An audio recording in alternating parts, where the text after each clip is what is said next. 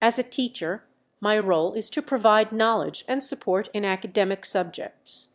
While I appreciate your interest in your YouTube channel, I cannot subscribe to it as it is not related to our educational discussion.